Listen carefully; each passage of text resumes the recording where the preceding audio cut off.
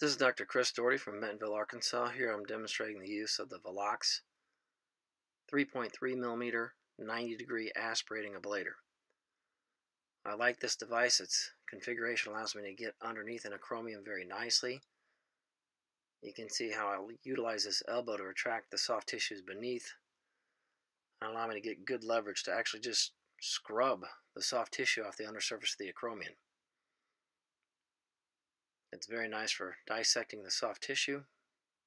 Here I've got the setting on 100. It does go higher. I just like the setting at 100.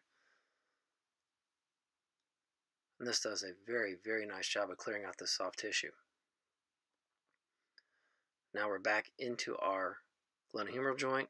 Here I'm dissecting the biceps free so that I can do a biceps tenodesis. So here I'm just cutting through the biceps itself.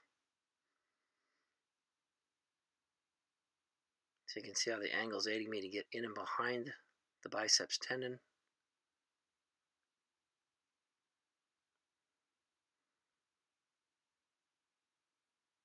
without causing any other iatrogenic damage.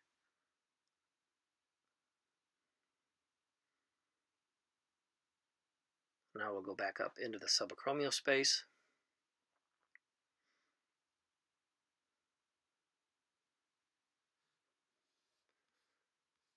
That's our rotator cuff tear that we've identified.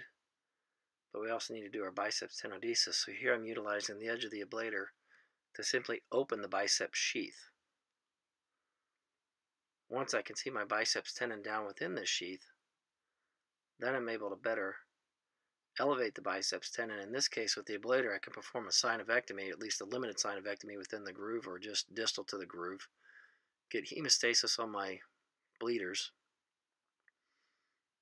and with the design of the ablator and with how stout it is, I can actually just retract the biceps out of the groove to allow me to place my socket for my tenodesis.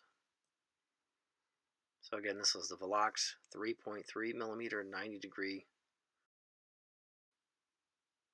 So with this ablator, I'm able to actually retract the biceps, obtain hemostasis of these bleeders that are almost always along or distal to the biceps groove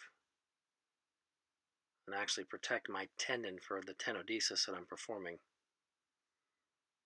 So you can see I'm actually retracting, then activating the ablator so I can get my hemostasis achieved. I can actually perform a nice synovectomy. You can see we've got synovitis along this biceps tendon itself, so we're protecting our biceps with dissecting the synovitis free. Here I'm actually retracting the biceps up and out of its groove.